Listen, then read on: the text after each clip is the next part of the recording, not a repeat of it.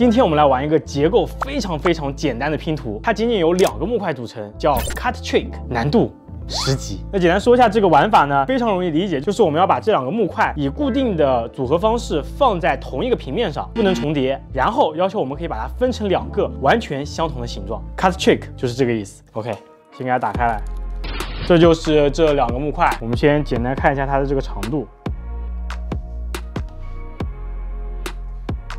OK，现在它这个长度是这样的。如果我们把这个木块的边长算作一个单位，这个大木块的这个底它是根号二个单位，就正好差这个斜边的长度。然后这个的话就是两个单位，然后这边是二加根号二，对，是这样一个逻辑。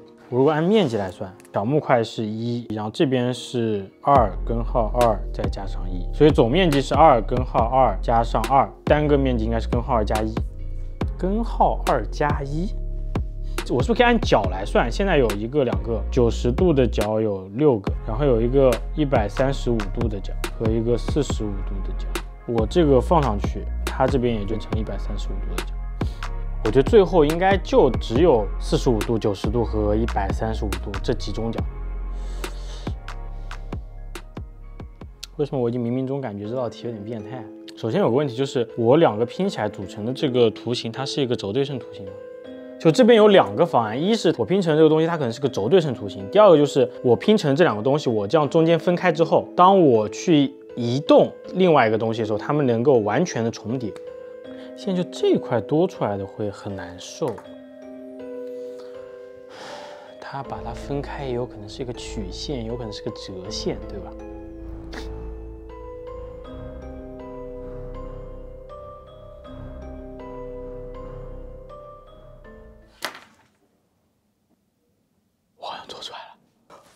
是不是这个逻辑啊？我试一下。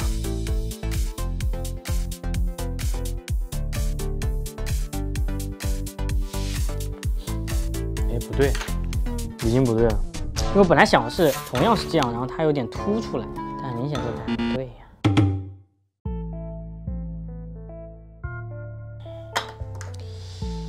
哦，why？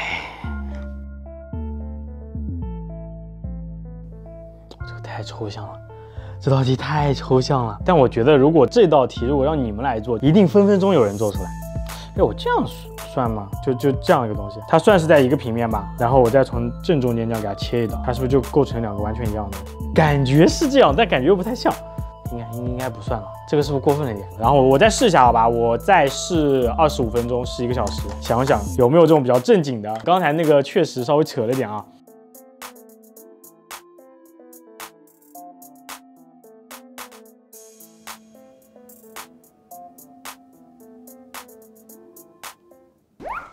哎，等一下，这答案出来了呀？Are you sure？错了，我已经带崩了，一个小时，一个小时，我继续，好吧，我继续，就这个。